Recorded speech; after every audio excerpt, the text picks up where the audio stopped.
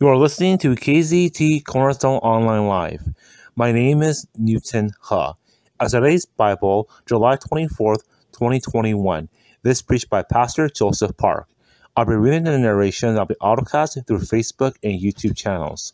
Today's English Ministry Message Romans chapter 15, verse 113. We who are strong ought to bear with the failing of the weak and not to please ourselves. Each of us should please our neighbors for their good to build them up. For even Christ did not please himself, but it is written, The insults of those who insult you have fallen on me. For everything that was written in the past was written to teach us, so that through the endurance taught in the scriptures and the encouragement they provide, we might have hope. May the God who gives endurance and encouragement give you the same attitude of mind towards each other that Christ Jesus had, so that with one mind and one one voice you may glorify the God and the Father of our Lord Jesus Christ. Accept one another. Then, just as Christ accepted you, in order to bring praise to God, for I tell you that Christ has become a servant of the Jews on behalf of God's truth, so that the promises made to the patriarchs might be confirmed, and moreover, the Gentiles might glorify God for his mercy, as it is written, Therefore I will praise you among the Gentiles. I will sing the praises of your name. Again it says, Rejoice, you Gentiles, with his people. And again, Praise the Lord, all you Gentiles. Let all the people extol him. And again, Isaiah says, The root of Jesse will spring up one who will rise to rule over the nations. In him the Gentiles will hope. May the God of hope fill you with all joy and peace as you trust in him, so you may overflow with hope by the power of the Holy Spirit.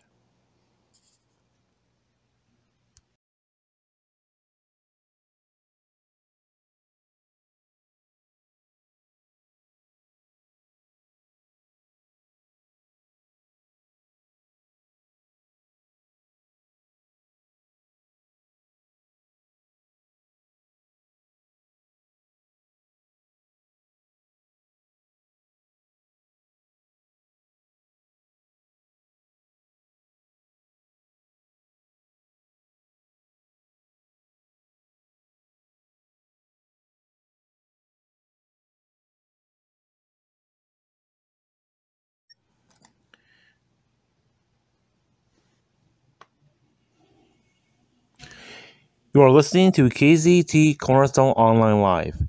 My name is Newton He. As today's Bible, July 24th, 2021. This preached by Pastor Joseph Park. I'll be reading the narration of the autocast through Facebook and YouTube channels.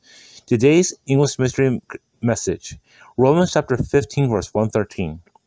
We who are strong ought to bear with the failing of the weak and not to please ourselves. Each of us should please our neighbors for their good to build them up. For even Christ did not please himself, but it is written, The insults of those who insult you have fallen on me. For everything that was written in the past was written to teach us, so that through the endurance taught in the scriptures and the encouragement they provide, we might have hope.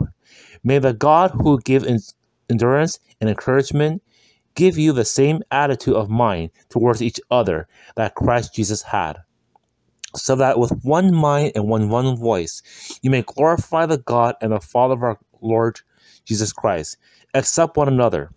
Then, just as Christ accepted you, in order to bring praise to God, for I tell you that Christ has become a servant of the Jews on behalf of God's truth, so that the promises made to the patriarchs might be confirmed, and moreover, the Gentiles might glorify God for his mercy, as it is written, Therefore I will praise you among the Gentiles. I will sing the praises of your name.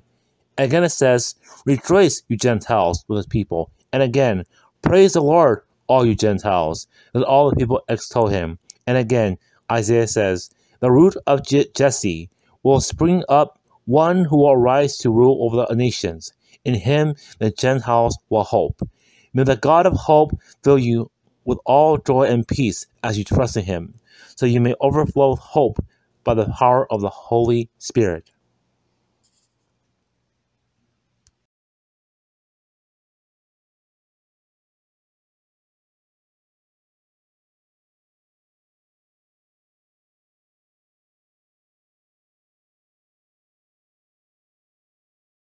You are listening to KZET Cornerstone Online Live.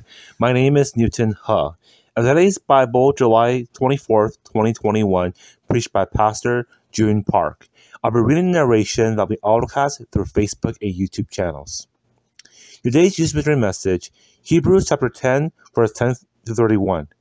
And by what by that will we have been made holy through the sacrifice of the body of Jesus Christ once for all. Day after day, every priest stands and performs his religious duties. Again and again, he offers the same sacrifices, which can never take away sins.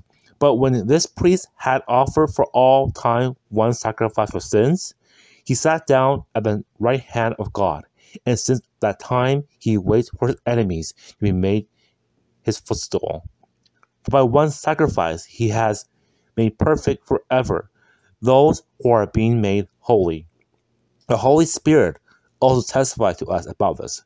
First, he says, This is a covenant I will make with them. After that time, says the Lord, I'll put my laws in their hearts, and I will write them on their minds. Then he adds, Their sins and lawless acts I will remember no more. And where these have been forgiven, sacrifice for sin is no longer necessary. A call to preserve in faith. Therefore, brothers and sisters, since we have confidence to enter the most holy place by the blood of Jesus, by a new and living way opened for us through the curtain, that is, his body. And since we have a great priest over the house of God, let us draw near to God with a sincere heart and with the full assurance that faith brings, having our heart sprinkled to cleanse us from a guilty conscience, and having our bodies washed with pure water. Let us hold to the hope we profess, for he who promised is faithful. And let us consider how we may spur one another on toward love and good deeds, not giving up meeting together, as some are in the habit of doing, but encouraging one another. And all the more as you see the day approaching. If we deliberately keep on sinning after we have received the knowledge of the truth, no sacrifice for sin is left, but only a fearful expectation of judgment and of raging fire that will consume the enemies of God. Anyone who rejects the law of Moses died without mercy on the testimony of two or three witnesses. How much more seriously do you think someone deserves to be punished who has trampled the Son of God underfoot? Who has treated as an unholy thing the blood of the covenant that sanctified them, and who has insulted the Spirit of grace. For we know him who said, It is mine to avenge, I will repay. And again, the Lord will judge his people. It is a dreadful thing to fall into the hands of the living God.